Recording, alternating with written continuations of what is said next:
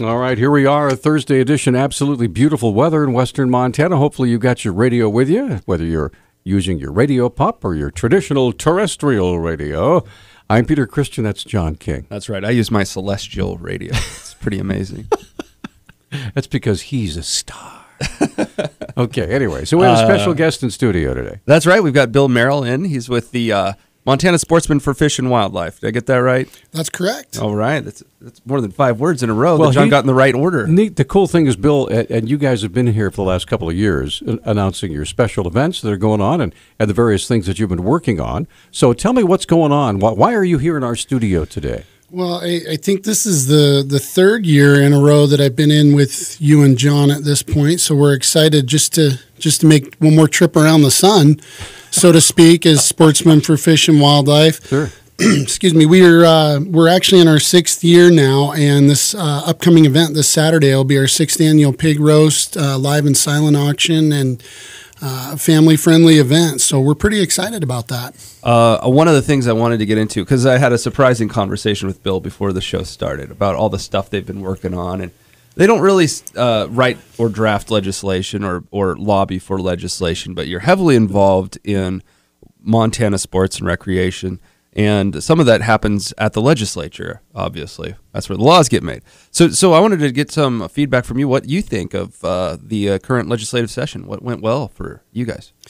Well, I, I think that anytime your your elected officials, or what I like to refer to as our employees, uh, kind of do the will of the people in in terms of what's good for wildlife access, Montana sportsmen, you know, on our hunting and fishing heritage. I think it was a successful session, and it certainly feels like that um, as as this one kind of comes around the corner here. But um, as you mentioned, we don't. We're a 501c3 nonprofit organization, and we're 100% volunteer, and that's a little bit how we're different than the Elk Foundation or the Mule Deer Foundation or some of the other big game groups that are out there.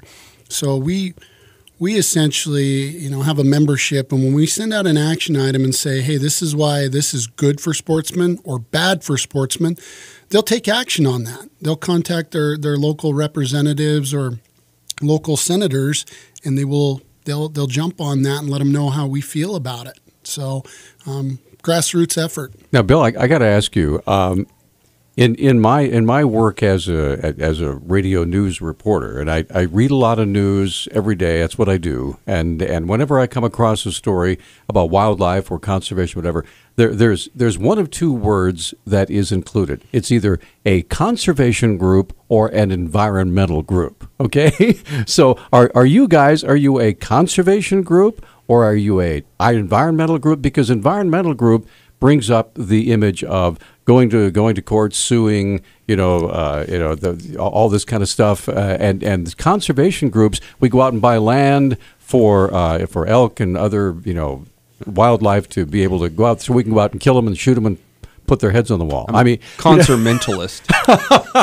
so so uh, what, what where would you put Montana Sportsmen for Fish and Wildlife? That's that's such a great question, Peter. Um, and I think a lot of people, you know, there there really is a distinction between sound conservation and what we call eco terrorists or environmental groups. And I don't like to pigeonhole all environmental groups as eco terrorists, but many of the groups that are out there now have become professional litigators. no, no. What do you mean? What do you mean by eco terrorists? Eco terrorists. Um, let's see. Well, Sierra Club last year, or in the last couple of years, have built a massive war chest of over fifty million dollars.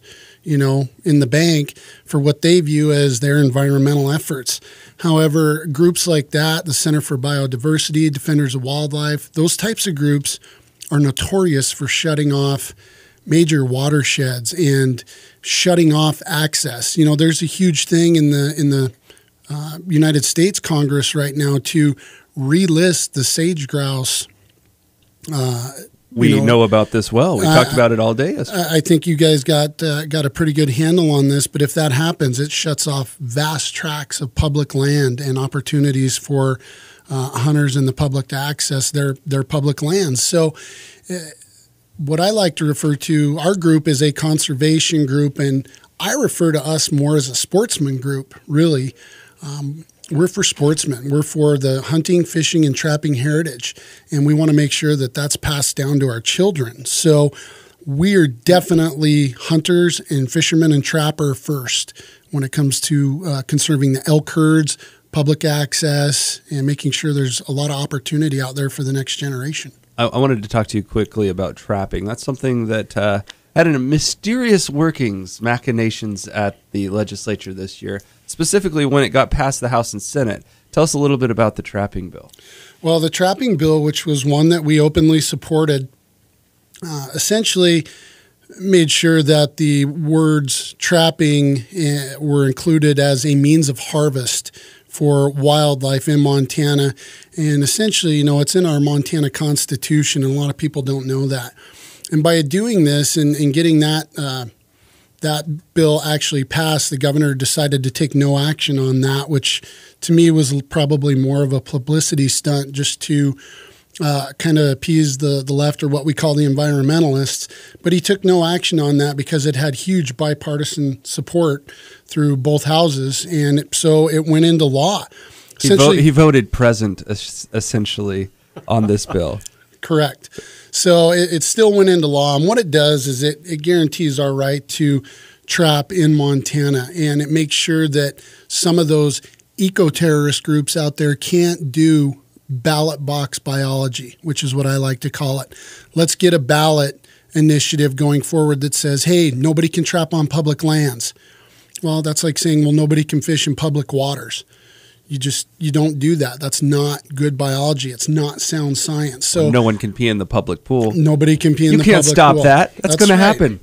So you know, trapping is our most effective means to control um, coyotes, wolves, hmm. um, all the different types of predators that are out there that that uh, affect our big game herds. So essentially, essentially what we what we did was back that bill with several other groups, and now it's it's a guaranteed form of, of harvest in Montana, and hopefully it will negate any of this ballot box biology. Now, let me ask you this: Does, does this have anything? To, do because one, one thing uh, we, we have a, a faithful caller to our show, Mike. Who every time there's a politician on, asks specifically if uh, the Constitution, if, we, if, they can add the word trapping to the Constitution as, as a viable means of harvest. And, and we're up against a break, so I believe Mike might be on the phone. Is that right? Uh, that is Mike, yeah. Okay. Well, so yeah. we're going to get Mike and Jim, and uh, we're talking with Bill Merrill, Montana Sportsmen for Fish and Wildlife. And we have one line open to give away some coffee. That's right. While I've got you trapped, I will give you some free stuff. All right. It's even better than being in a real trap. Uh, we're going to give away some coffee, some toast, and uh, your choice of spreads, all courtesy of our Rocket Coffee Stand, which is in the Garden City Garden Supply across from the Eastgate Shopping Center. Really tough gig here, kids you have to do absolutely nothing except for dial a number and you win this coffee. First one 721 1290 is the number. First one gets the prize 721 1290. And we're back on Talkback. Now, we had a winner just a second ago, right? That's right. Bruce yeah. won some free coffee. You can too. We'll be giving away more tomorrow, but not on Saturday. No. Because Peter and I kind of have a life. Kind of. Actually, I have a really fun life on Saturday. I'm going to see dinosaurs I'm probably going to run five the 5K with the giant bouncy house and the giant bouncy slide and all that stuff with my daughter. It's going to be a lot of fun. We're running at 12:30, by the way, in the Insane Inflatables 5K. So if you want to watch uh, what is mostly obesity bobble through a bouncy house, uh, you you can enjoy that with, uh, you, with everybody you, else. You get the double bounce. Yeah, right, right. Uh, so twelve thirty run if you want to join us, and it should be a lot of fun. So let let's get Mike on the line. Mike, thanks for holding. You're on with Bill Merrill from Montana Sportsmen for Fish and Wildlife. Hi. Yeah, well, hi, Bill. Uh, this uh, 212 bill you're talking about, do you really think it's going to stand up in court? Do you, do you think the, the, the bill's going to stand up in court, Mike asks? Uh, I think what's going to happen is there may be some challenges, and we'll probably see some appeals. But with that much bipartisan support and being signed into law, I absolutely do. I yeah, think that Montanans. That I, I, think that Montanans have had it. Hang, hang, hang on, hang, hang on, Bill. Well, hold on for Mike. Mike. Mike, he can't hear you. Hang on, he's, he's got his headphones on. So go go ahead, Mike. Go ahead. There you go. Yeah. Now isn't this the law supposed to be changing the word, the, adding the word trapping to the Constitution? The way I understand it, I never did understand twelve. That bill, I've read it a dozen times. I still don't know what the dang thing says. It's kind of like Obamacare, isn't it? Yeah, it is. It's about the most complicated piece of garbage I've read, and I'll put it straightforward. and and the truth of the matter is, the trappers had an excellent chance of getting a real constitutional amendment put on the ballot, but they didn't pursue it. It scared them to death. Well, and I, I think what we're going to see is is baby steps. It was just like delisting the wolves. You know, you're not going to get everything you want, but you got to have some kind of a starting point. And the bipartisan support that this bill received is a starting point. So, is it the best solution for right now? Maybe not, but it's a start. So we'll just kind of see where it goes is, from. Is changing the wording of a constitution? This is what the I, I've heard is. Well, we're going to add trapping to the Constitution along with harvesting. Well, let, let me uh, read the actual bullet from the Constitution, then we'll we'll use that as a starting point because a lot of people don't know. Maybe if you're not invested in trapping or harvesting uh, animals, you might not know this. Uh, this is Section Seven of the Montana State Constitution. Um, quote, the opportunity to harvest wild fish and wild game animals is a heritage that shall forever be preserved to the individual citizen of the state and does not create a right to trespass on private property or diminution of other private rights. So there you So, go. yeah. Um, there you so go. Basically, that- my understanding is that problem 212. It leaves out predators. It leaves out non-game animals. That it says specifically game animals and fish, uh, game fish. Uh, that is quite specific, and I, I'm sure that if this hits the court, you- you can't change the wording of the Constitution with a law. It wasn't meant to change the Constitution, Mike. I think where the where the miscommunication is, it adds the word trapping as a means of harvest, and in the Constitution it discusses harvest. So whether it's a rifle or a bow, now trapping is recognized as a means of harvest, and that's really what the intent was Yeah, on that particular bill. Yeah, I, I just don't think it'll stand. You know, I, I, I just think when they had a chance to put it add and put it a constitutional amendment to cover trapping, and they bypassed it simply because none of them ever read the read the Constitution, is a little a little because I did a survey with this, some of these people, and everybody was in favor of hey, let's put a damn thing on the ballot, but that wasn't going to happen. All right. Thanks, Mike. Oh, yeah. Appreciate the call. All right. 721 1290, 1 uh, 800 568 5309. If you have a question or comment, Bill Merrill joining us, the Montana Sportsmen for Fish and Wildlife. Now, aside from that, what other kind of stuff are you guys working on? I mean, the legislature's over now. And so, uh, uh, on a daily, on a weekly, or a monthly basis, do you guys have a like a list of goals, things you work toward um, uh, throughout the year? We do. Um, you know, we we started out really as a uh, as a organization to help uh, get the wolf delisted, so we can manage predators and help the the big game uh, herds in western Montana and Montana in general. And I now. remember that. I remember uh, when you were here before in previous years that that became a multi-state, almost a national effort, right? It was a national effort. I stood on Capitol Hill with David Allen of the Rocky Mountain Elk Foundation and Miles Moretti with the Mule Deer Foundation and legislators from Montana, Wyoming, Idaho, Utah uh, to testify about what was going on. And um, Senator Tester uh, was one of the guys that kind of helped bring that about. And I didn't feel the Tester bill was as good as the Rehberg bill, but it was baby steps. We weren't going to get everything that we wanted. But since then, we've seen the, the season on the wolf get longer. We've seen trapping introduced as a means to take wolf. Um, electronic calling. So a lot of things, uh, you know, five years on that have come down the pipe are really where we wanted to be, and we're we're finally starting to see an uptick in some of the game herds, especially around Yellowstone. This is the first time in almost 20 years that the elk herds around Yellowstone have shown an uptick. So we're pretty excited about that. But having said that, you know, that was just one thing we've done. We're really involved now with getting youth uh, into the field getting them off the iPad and the iPod and teaching them how to draw a bow or cast a line. Okay, So- let, us get to the phone uh, and uh, get Rich on the line. Rich, good morning. Hi, how are you? Yes, um, about all of this with the deal, um, there was a, a law passed this year about uh, si- uh, silencers and stuff.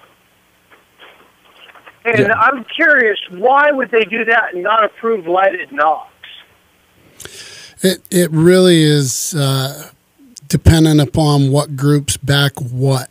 And some of the the the die-hard archers out there, from what I understand in the archery community and the traditional archers, they say no, we don't want lighted nocks, but you know they want to be able to use a GPS to figure out where a corner crossing is. So I, I think it's not getting all the right people in the same room. Everybody's maybe gonna, it, it sounds like technology in baby steps as well, right? it, I think it is. I mean, it's it's certainly understandable. Lighted nocks are approved in many of the other states. It doesn't give you any kind of an advantage to harvest a game animal. Let you put the arrow on the string in the dark. Yeah, and you can find it. You Thanks know, it, it call, helps you. It helps you track them. So, and you know, personally, just speaking from a personal standpoint, I think lighted nocks are, are not a big deal. I think it helps in the recovery of the game animal versus losing that animal at night. I think you make a great point. I think it's stupid to not be able to have lighted nocks. I mean, Yeah, we we have people out there with a rifle, right? You're not going to have some huge advantage with the bow that you wouldn't have with a rifle.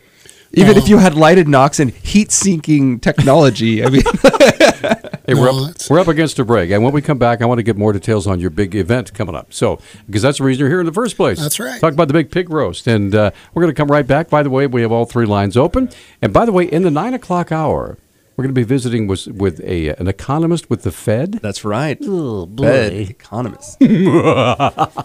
Okay, we'll be right back in a moment. Oh, what a uh, lovely coinky dink.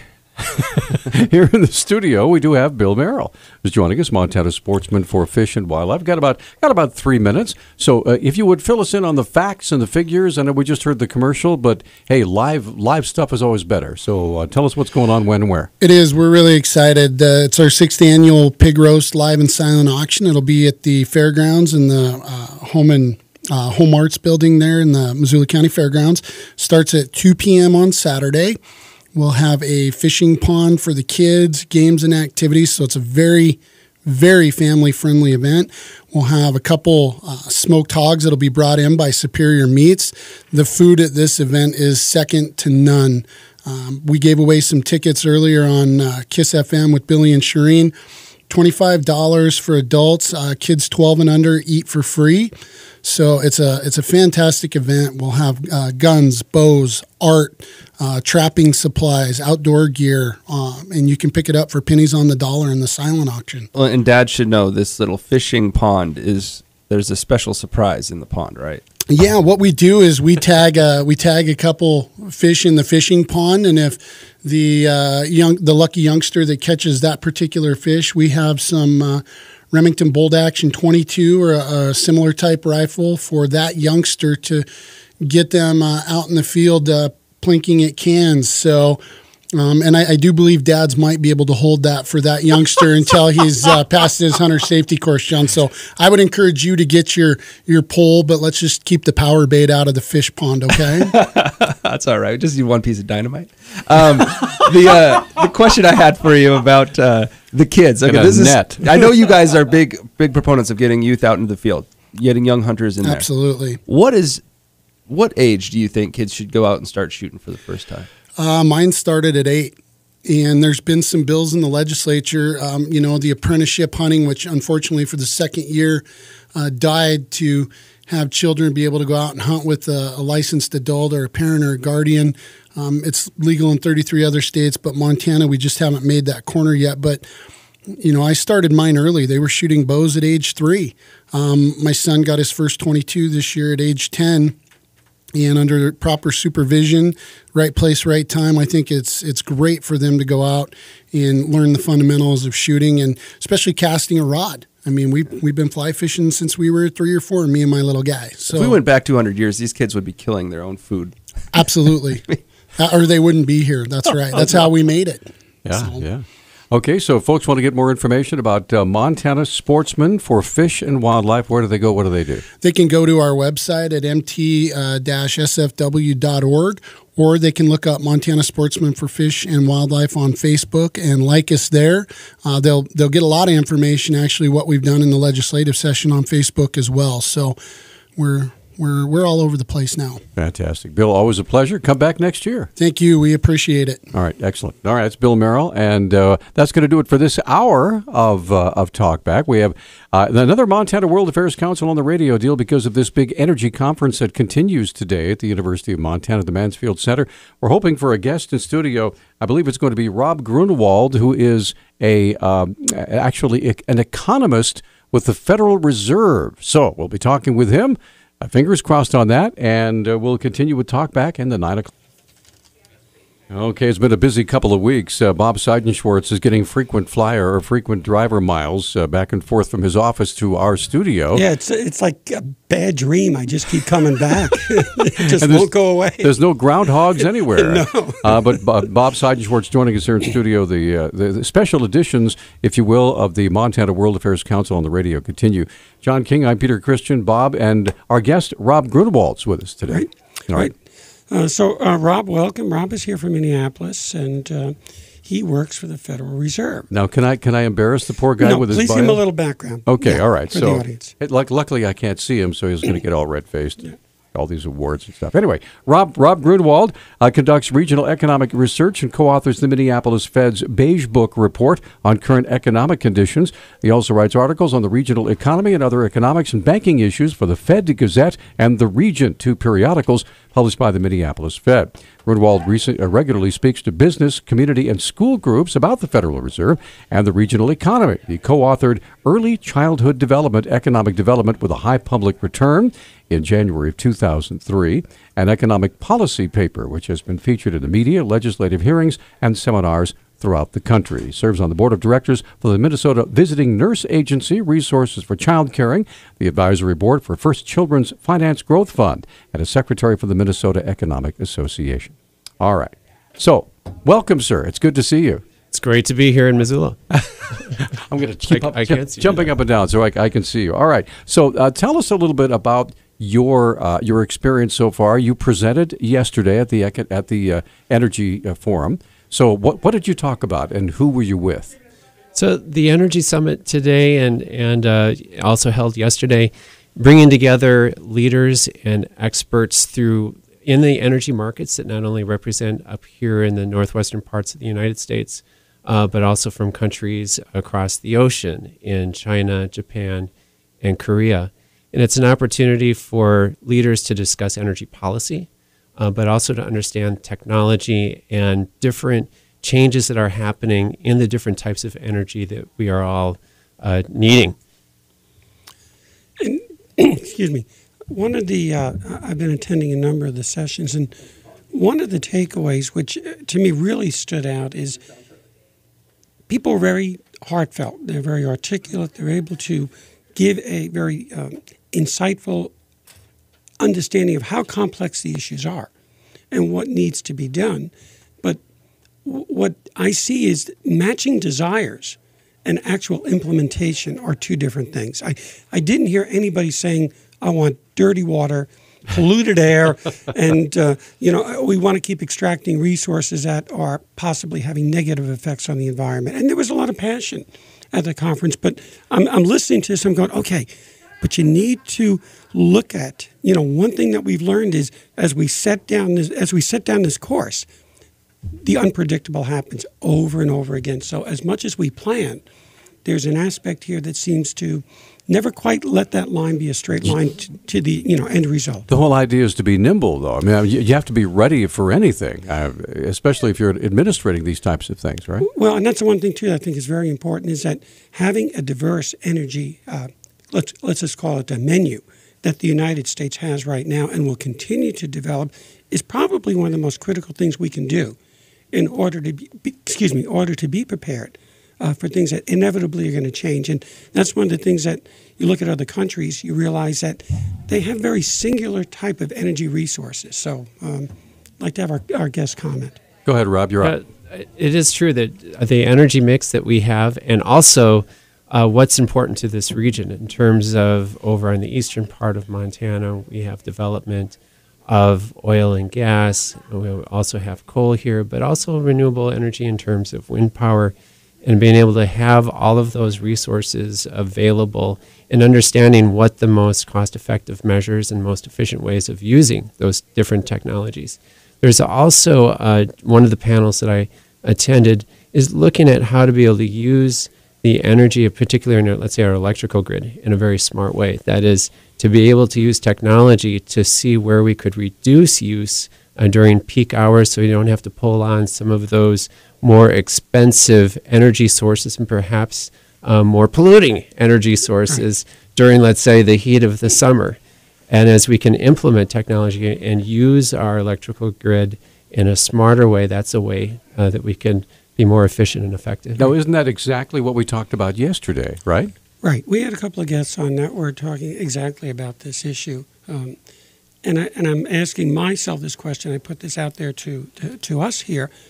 W- what are the steps that have to be taken? In other words, is there some entity that's looking at this in its entirety that then gives advice or insight? Or are we kind of all acting in separate ways, kind of working towards the same end, but there's no kind of clearinghouse per se? Well, I mean, this is what I'm learning about too. I'm, a, I'm as much of a student at this conference as I am a presenter. And, and there's a couple of pieces that drive energy. And one is the markets right. for the demand for energy, where that's happening not only here in the United States, but around the world, and the supply of the different sources of energy and the technology that makes that supply available. So markets are going to be driving uh, signals around demand and what type of resources to bring in. But policy, uh, being able to direct policy at a high level to look at the long game. So what are what are those resources that we need to have available that maybe market signals right here in the short term are not going to provide us that answer. So having some vision and seeing, okay, these are resources we need, some renewable resources we're going to need in the long run. We want to make sure that those are being developed. We're going to take a little break. Catherine's on the line with a couple of always very good questions. But uh, my question for you when we come back uh, when, when you look at, uh, you had mentioned, is there some group or entity that's going to help try to guide all this? Right. I wanted to ask uh, Rob, would you prefer that that uh, whoever is going to be in charge of that would it be a Warren Buffett esque type deal where the markets are everything, or like the EPA or some government organization, some government entity that's going to take things a different direction? So I want to find out from you because you work with the Fed uh, what your idea uh, might be on that, or could it be some sort of hybrid of the two? So, and we're going to come right back and get Catherine's questions. We have two lines open as well. 721 1290 is our number. We'll be right back. We're back on Talkback. 721-1290 is our number. 1-800-568-5309. Bob Seidenschwartz joining us here in studio, the Montana World Affairs Council on the radio. Big, big, big energy conference going on at the Mansfield Center University of Montana. Now, if you could, uh, uh, well, let's go back to Rob, because I asked you a question. Uh, we only have you for an hour, so I'm going to milk you for everything we can. I asked you a question uh, uh, that Bob brought up obviously it would be nice if there was some sort of guiding force with all these various intervening variables that are coming up with energy. Would would you prefer seeing a private sector deal like a Warren Buffett or some sort of organization like that, or the uh, uh, some sort of federal agency uh, basically standing behind trying to guide things? As far as energy goes. Okay, so I'm going to first disclaim that I'm not an expert on all of these issues, but from what I've seen, what I've learned from this conference is I'm going to answer with the word yes. Okay. Uh, that there's a role for both. uh, that we that markets are going to be driving signals for what energy is in demand and, and how to use it, but having some policy uh, guidance in terms of making sure that we are uh, that we're using clean sources, that we're meeting regulations. All of this is important. But I also want to point out that there's important rules for markets within how regulation can work. Uh, for example, if we can be able to price uh, those items that, that we're concerned about for society, for example, carbon, if we are able to develop a price uh, for carbon and develop ways to be able to trade carbon so that companies can look at their impact there and understand what is the, what is the most efficient way uh, that we could produce or trade those uh, carbon credits or those prices of carbon um, from an economic standpoint, just from a theoretical and also an applied standpoint, that sometimes developing ways to put market signals from not just a regulatory framework, but actually putting it in that trading system now there, can be a way to go. There's a phrase I haven't heard for a long time trading carbon credits. Now, back uh, 2008, there, and I, and I have personal experience with that since a family member was the chief operating officer of the first attempt in the United States to develop a carbon exchange. And things were moving forward, and there was a pricing mechanism. Companies were starting to sign up, things were starting to happen. Then we had the economic crash, and that market just completely collapsed. And we haven't seen a revitalization of that. So these things have been attempted in terms of uh, putting some mechanism in place. And to Rob's point, which which I've heard continually at the conference, particularly with the uh, business uh, component, we need to we need to know the rules of the road. As as an operating business that's going to make capital investments for a long term return, we want to have a sense of what the regulatory environment is going to be. Is it going to change? How do we adjust to it? So, to your point, um, these are some of the things that some centralization may bring to the equation. Okay, let's get Catherine on the line. I know you have some good questions. Catherine, you're on with Rob Grunewald. Go ahead. Uh, good morning. Okay, let's see if I can uh, put these together here. Uh, in the U.S., inventories of products are at an all-time high, according to what I've read. And so I'm curious as to what influence is this going to have on the U.S. economy going forward uh, with regard to the energy needs. Uh, couple that with uh, the fact that across Europe, um, especially, the G7 is uh, carrying approximately 120% of public debt, uh, which is the rate of the GDP, and there's uh, a lot of the country, countries, starting with the Swiss, have gone into uh, a negative bond yeah, interest rate um, for their for their government bonds. Um, 50% or 70% of German bonds are negative uh, interest rate, 50% of French, and 17% of Spanish. Yeah, we talked How about that with Arnie Sherman a couple of weeks ago, right? right. Yeah, so go ahead. Yeah, so I was curious uh, because energy is fungible, of course, across all uh, countries. Um, how uh, how is the energy market going to respond to that? Does that is that how is that going to affect the U.S. energy market in particular? Okay, thanks, Catherine. Go ahead. Okay, Bob, Rob, anyone. Well, Catherine, as always, uh, having you here is like having the economist in front of me. So yeah, really. Uh, yeah. Th- there's some areas I think that Rob is uh, comfortable in answering, and this may not be possibly one of those. So I would suggest, Catherine, give me a call at the office, and I can give you some info on, on, these issues. But uh, please, John. I, I think that uh, if you're not comfortable answering that, I, I think it is a good opportunity to ask uh, what exactly is your specialty and what exactly the, the, the Minneapolis Federal Reserve Bank specializes in. What sorts of issues do you look at at a daily basis? Do you try to predict and do you assess? Thanks. And, and to, to Catherine's question, just to, to let folks know that uh, during this, this time when we're very close to a policy meeting back in Washington, I, my comments are only about today about the energy and also uh, this particular question here of uh, what we're looking at here in the Ninth District in terms of energy. Uh, the, the Federal Reserve Bank of Minneapolis uh, covers Montana, the Dakotas, Minnesota, and the northwestern portion of Wisconsin, Upper Peninsula of Michigan, very large area up here on the northern tier. And compared to some of the other Federal Reserve districts, we have lots of agriculture. It's very unique there too. We, have, we also have a strong presence of natural resources and mining. So with the the development of oil and gas development in the Bakken area in North Dakota and eastern Montana, uh, we're taking a very close look at how that development has happened over time and the impact on those communities over time because it's one of the fastest developing areas that we've seen in the country for some time. And so on our website, we like to keep track of what's happening in terms of economic development indicators in the region, and also understanding what's happening now that uh, oil prices have gotten a little bit lower. Okay, we're going to take a little break, so go ahead, Bob. I was going to say, we can answer uh, Catherine's question to one extent with a continuation of this conversation, which is what happens as a result of oil prices dropping. We have too much supply versus demand at the moment, so we've seen a precipitous drop. And when we come back, Rob can talk about some of the effects on the Bakken and the region. You bet. We'll be right back. We have all three lines open. If you want to visit with Rob Grunewald, he works with the Minneapolis, uh, the Federal Reserve Bank of Minneapolis, and and uh, we're talking about the energy conference going on at the University of Montana at the Mansfield Center. Uh, any questions or comments? We'd love to hear from you.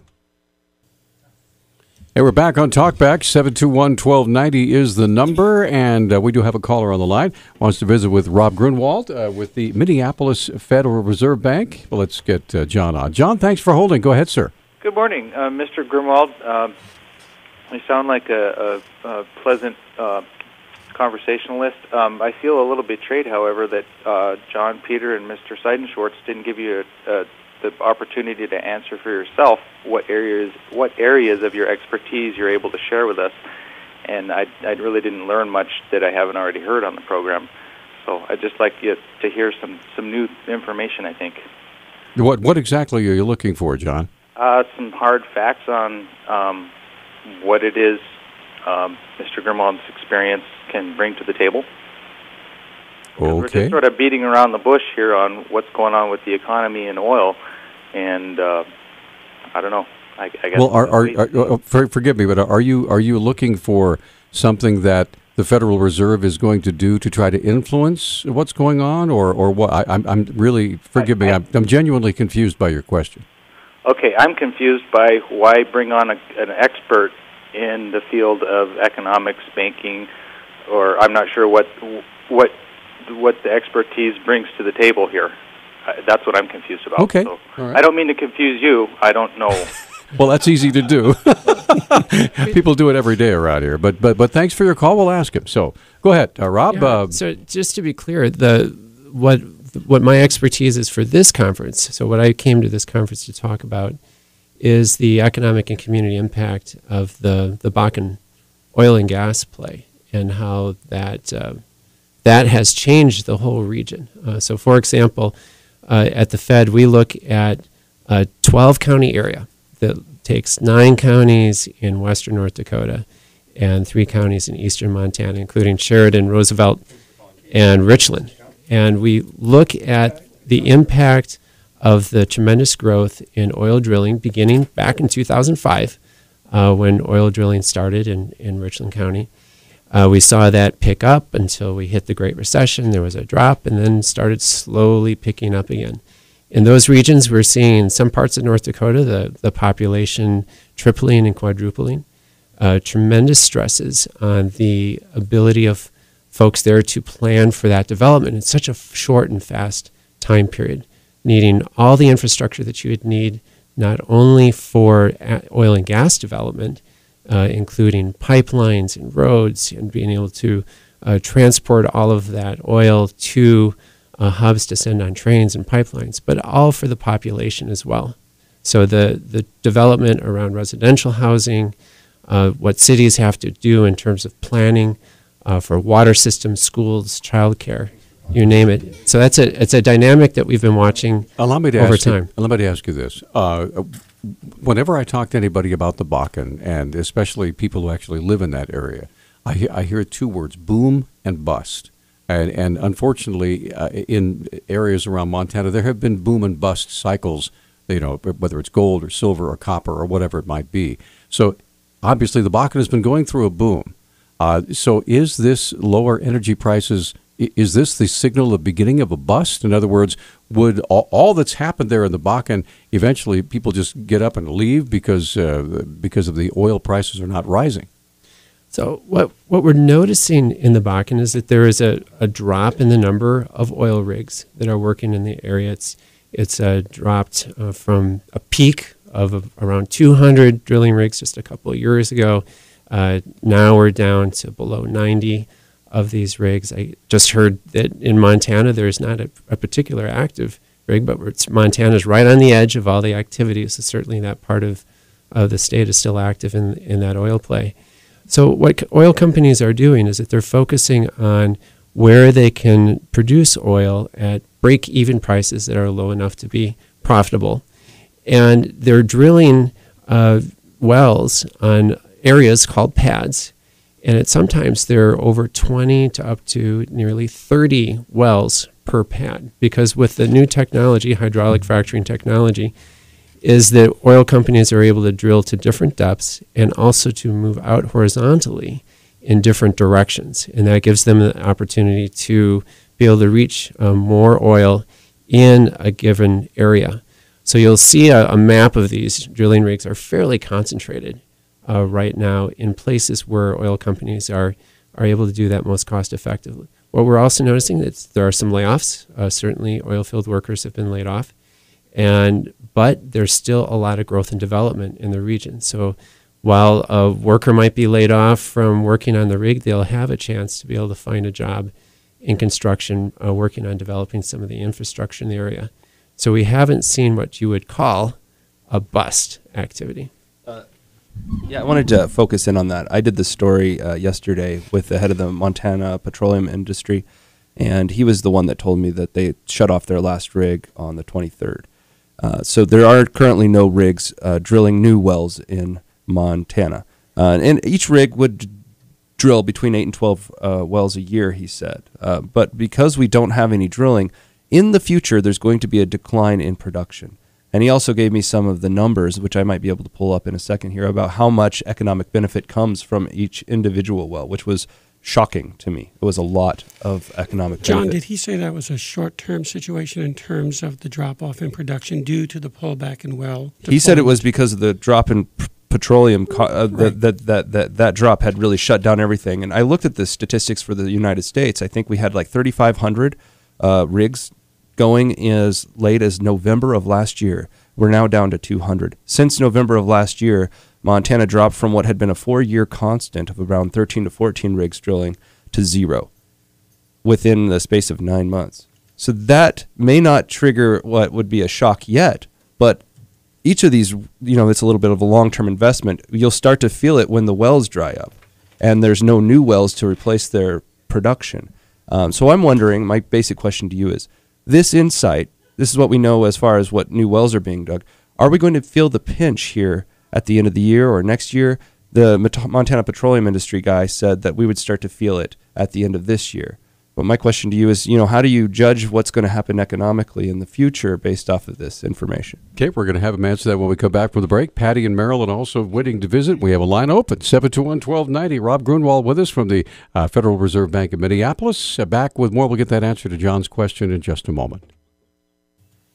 Hey, we're back on Talkback, and uh, it's the Montana World Affairs Council on the radio, and we're having a lot of those because there's a huge energy conference going on right now at the University of Montana at the Mansfield Center that is sponsoring. Bob Seidenschwartz is with us. Rob Grunewald is joining us. Now, John just brought up some some things uh, that uh, Dave Galt with the Montana Petroleum Association uh, brought up to him. We had a big news story about it this morning about the uh, uh, rather alarming decrease in production in, in wells in Montana. So if you could address that, Rob. You know, certainly with, with the production that's been happening, and each well, uh, we have a drilling rig that's in operation, and it's been estimated that relative to that rig, uh, that that's effectively producing employment for 100 or more uh, jobs connected to the rig and also support jobs and so on. Uh, there's also a tax revenue that comes to states uh, from when uh, we have that production, and, and certainly what we notice about the production scale and trajectory of shale wells is that they produce very strong early, um, but then they that production tends to cut off. Even though they'll be producing for 20 or 30 years, uh, once you get past the first couple of years, it's a it's a lower level of production. Uh, so there's there certainly is an economic impact here. Uh, it goes to show that here we are in North Dakota and Montana, and we are affected by global conditions. Uh, the supply that has come online from the United States using this new technology uh, has helped to bring prices down. Uh, OPEC has taken a position uh, where they're going to continue to produce, and and basically uh, with those lower prices, are expecting that those uh, shale drillers that were more on the margin would decrease produce production, and they have. Also, it's been slower growth overall around the world. China's been slower and and so that makes for lower prices. But these, as we noted at the beginning of the program, things can change, and if you have some stronger growth globally, uh, those prices can come back up. There was a very important takeaway uh, at a presentation that North America, Canada, the U.S., and Mexico are becoming the energy producers. And in effect, OPEC is shifting to North America. Mm. Looking forward, this is part of what I suspect the Saudis are also concerned about in terms of staying relevant, maintaining their position, whether OPEC is what it is today in the future, who knows? But the production coming out of these three countries is shifting the global energy production. Okay, let's uh, let's get to the phone and say, Patty. First of all, thank you for holding. You're on with Rob Grunewald. Go ahead. Hi. Well, Rob, um, what I'm really concerned about is um, what do you think the purpose of oil is in the earth? So, in terms of uh, maybe expand on that just a little bit more in terms of the. Well, maybe holding the planet in space without any strings attached. Ooh. yeah. I thought it was just a lubricant to keep the rocks happy, but uh, that's, It's All right, Patty, Uh, that's getting out there just a and, little and bit. another thing, who's going to be financially responsible when we start having earthquakes that we had right here in Idaho about two weeks ago, a week and a half ago? There's no It's fracking in Idaho. Immensely in Oklahoma, and uh, from fracking, and they kind of just that can do a lot of damage. And we've got Yellowstone right here, which we really don't want to upset that apple cart. gotcha. All so, right. uh, Patty, uh, this might be interesting to you. I did an int- uh, an interesting uh, news story last week. Was it Peter? Yeah. Mhm. With the uh, Thanks for the call. with Mike Stickney. He runs the earthquake lab at MSU. Uh, actually, he's out of Butte. Sorry, and Montana Tech. And uh, so they've been studying this earthquake phenomenon. You were right about Oklahoma. Fracking has produced a lot of low level earthquakes in that area. But Montana tells a very different story. Um, he should know. He watches the seismod, seis, seismeter, or whatever you call it. Seismograph. Thank you. He watches this thing on a regular basis. And in Montana, Montana's fracking industry, there's two that might, two small earthquakes that might have been caused by fracking, but it's on a fault and it's a place that does go off, so it's not even sure that it has. And they don't know why. But Mon- the way Montana does fracking doesn't seem to be impacting the earth in the same way that other areas have. And one of the theories for that, uh, that Mike told me, is the way that they store the extra runoff, whether or not it's stored below or above where they're drilling.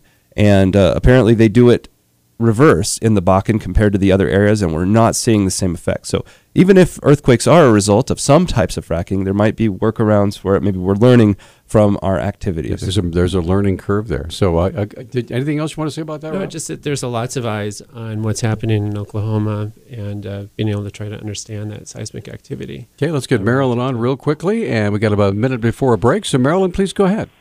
Yeah, um, I have a dream that the free market would actually be able to work. Um, the federal government, the Fed, is connected with the gov- the Fed, the government, and Warren Buffett. He's not free market. He's been connected with the government too, and that's called fascism. I don't really think that the this industry has been able to really go the way it has, should be able to, and we would be energy dependent. I mean, Saudi Arabia and Russia, they're all in this too. I mean, you brought that up a little bit. So, what would it look like if the free market and not politics, uh, politics were out and the free market would actually be able to work? Okay, let's ask him. So, uh, what do you think, Rob? Is, uh, is it uh, if you could remove government from the mix, would things get get better and everybody get rich and there be more jobs? What What do you think? Well, certainly markets are an important way. You know, here we are in a market economy uh, for us to distribute goods and services and for families to make income and so on. But with any market, we, we need to look at how well those markets are working. And economists always look to see, you know, is there anything in that market in which there might be a spillover uh, that might be negative or positive, for example. And in energy markets, we want to make sure if there's any spillovers from development of energy, such as pollution, is the main one that we look at, uh, that that's accounted for. And that does take um, some type of regulation and also accountability. And some of that happens within the industry, making steps to produce in a cleaner way, and some of that comes from uh, a regulatory framework, making sure from the government side uh, Hey, that, we're- that it's clean. We're up against the break, so John, go ahead. Yeah, I just wanted to add in. I looked up what I had learned, but I'd forgotten. Uh, we store at the Bakken. They they store the excess uh, fracking materials above where they're drilling, and in Oklahoma and elsewhere, they usually store it below where they're drilling. And it's just a theory right now, but the theory is that that's what's uh, might be the difference in why we don't have earthquakes in the Bakken. Okay, so we're going to take a break. Come right back. Rob Grunewald joining us from the uh, Federal Reserve Bank of Minneapolis. We're talking about the energy conference at the University of Montana. All three lines are clear. They're all open. If you would like to make a comment or ask a question, give us a call 721 1290. Hey, it's Talkback, and it's Thursday, and it's absolutely gorgeous outside. And uh, we're talking with Rob Grunewald. Of course, Bob Seidenshort's joining us this morning from the Montana World Affairs Council. Big energy conference going on in the Mansfield Center on the U of M campus. John, go ahead. Yeah, this is a Facebook post from Mitchell. He says uh, there was an excellent article a number of years ago in Wired magazine. They had a grid explaining what price a barrel of oil had to reach before a new technology would become viable. Uh, for hydrogen, it was $200 a barrel. Oil sands, it was $80 a barrel. So, uh, is that something you kind of track? Does the price of oil influence other developments in associated or alternative energies, that sort of thing? So it's it's something I don't track, uh, you know, intensively. I've been we've been looking more at the price of oil and the impact that it's had on on more immediate production.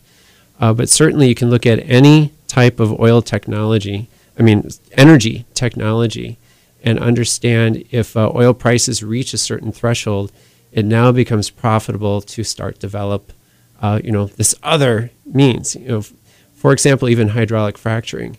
Uh, this was a technology that was not profitable when we had oil prices at twenty-five dollars a barrel and even forty dollars a barrel. That that price needed to get higher in order for there to be an incentive for companies to start to invest and develop that technology. Now, certainly, when we when we look at the oil prices coming down as they have uh, for marginal producers, that has come down to a point where it's put some of it shut down some of those rigs, uh, but it's also forced those rigs that are still working uh, to find ways to produce even less expensively. Uh, oil companies are going back to their vendors. They're asking for some price reductions. Some of the very high wages that have been paid to some of the oil field workers yeah, yeah. and to some of the you know some of the support folks like truck drivers in the Bakken region. We've heard anecdotally So no uh, more that those $20 have been no, bid no down more, somewhat. No, So that- no more twenty dollars an hour for McDonald's workers, right? But that's the market, though, really, in, in terms of a question one of our callers asked. That's really the market then acting and adjusting without a regulatory environment or some type of somebody saying, you've got to do this. This is just how business tends to ex- extract and, and expand. That's certainly. I mean, businesses are going to be responding to those those uh, price points, and, and and so we're we're seeing that they're even they've always been working at trying to be as efficient as possible because that increases their, their profits. But now there's even a, a stronger emphasis, and they have more leverage. Uh, oil companies do look at at that oil price, and then when they come back to a vendor and say, "Hey, this is where reality is in the market right now," uh, Bob, what can we do? During, during the break, Bob, Bob brought up something that uh, it just seems that entrepreneurs and uh, idea people, people who build things, invent things, are always running way ahead of government regulation and even of the markets. I, and with fracking was the same deal. I, I like to say the the price got up to the point where fracking became uh, economically viable, so the fracking revolution began.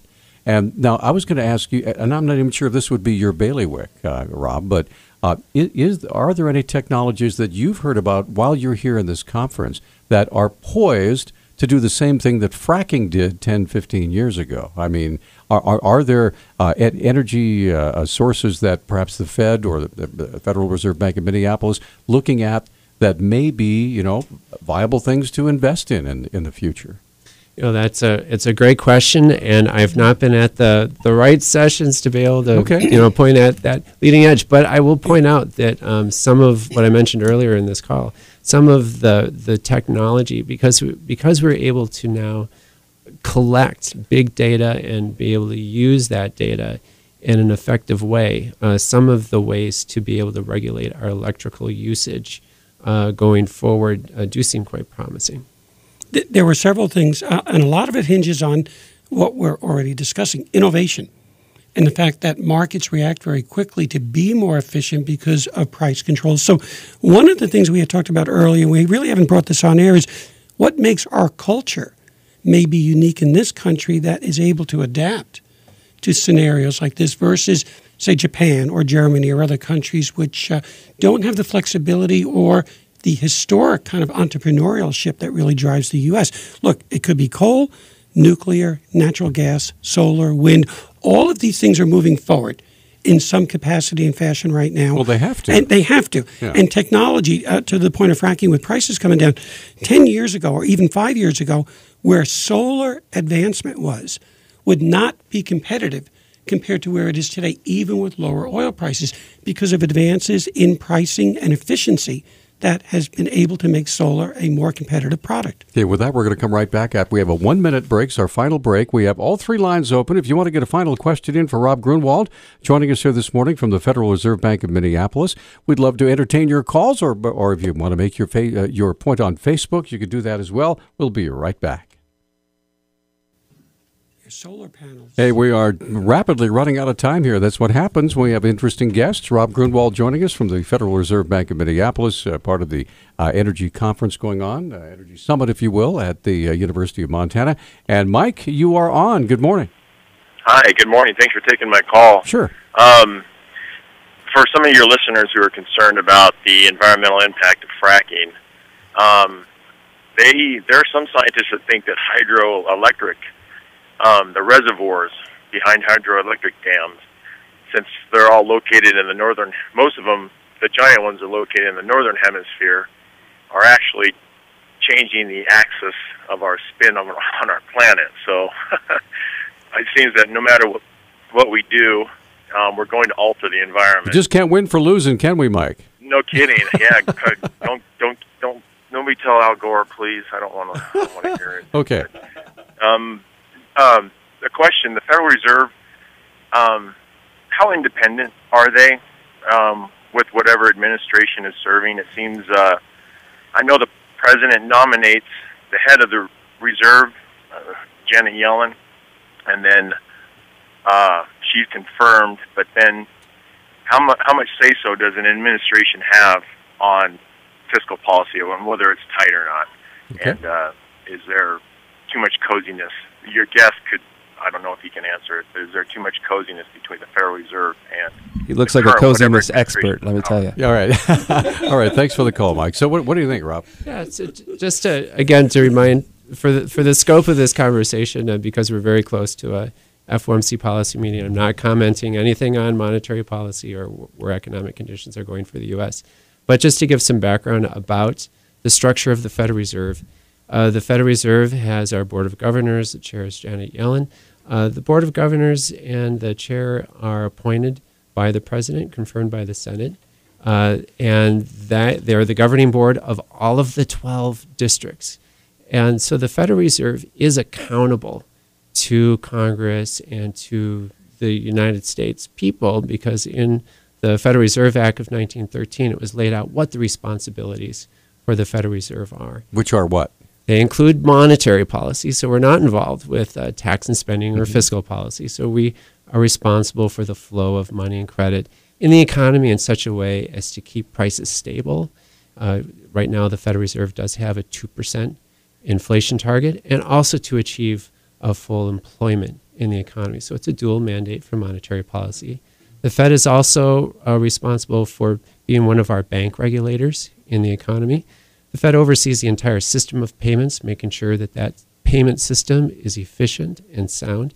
And we issue Federal Reserve notes. So Federal Reserve notes are, out there in the economy as they're issued by the Fed.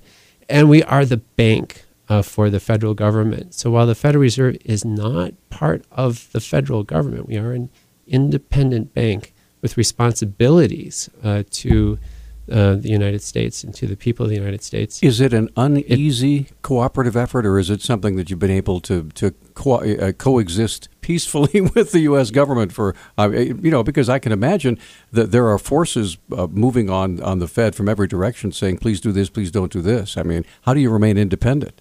Well, throughout history, you know, in the United States with the Federal Reserve and central banks around the world, there's always uh, making sure that that central bank is performing its functions sound and is in the context of a larger uh, political reality. And so part of what the Federal Reserve is charged with doing is reporting to Congress officially twice a year uh, before uh, congressional committees, uh, but also many times you'll see uh, Federal Reserve officials making sure that uh, we're providing information about uh, where policy is going. And in fact, you can you can look and see after every policy meeting what the Federal Reserve has Well, to say about it. Like now, I, I happen to know because I do a real estate show. Realtors love you guys right now, and they have for the last several years because interest rates are low, making it more attractive for people to buy homes. So, you know, I mean, that's they, they think it's great. They now that they know it's going to go up eventually. They don't know when. I, nobody really knows.